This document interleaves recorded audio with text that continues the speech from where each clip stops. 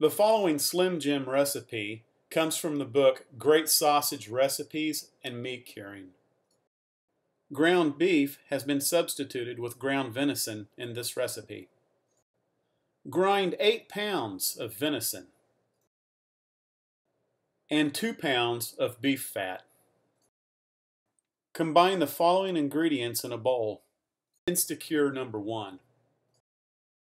4 tablespoons of paprika, 1 third cup of ground mustard, 1 teaspoon of ground black pepper, 1 teaspoon of ground white pepper, 1 teaspoon of celery flakes, 1 tablespoon of mace, 1 teaspoon of garlic powder, 5 tablespoons of salt, 4 and a half tablespoons of powdered dextrose, and one and a half cups of fermento. Mix the ground venison and the ground beef fat. Add the ingredients and mix thoroughly. I then add two cups of cold water.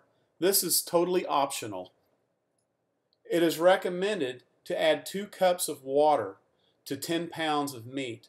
That allows the meat to travel through the small stuffing horn.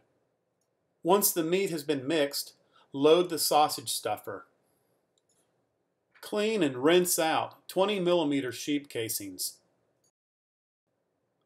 Load a sheep casing onto the sausage horn.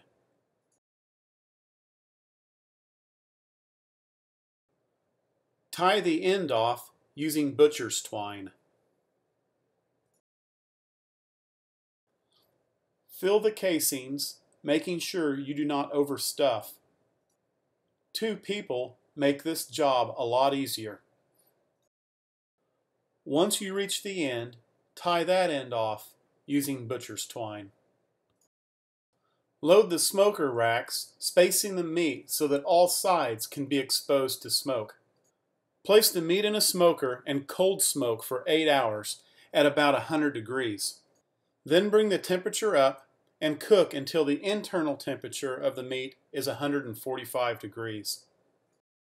After 8 hours of cold smoke, remove the meat and allow the meat to cool completely. It is important to cool the meat quickly. Once cooled, you can slice into desired lengths.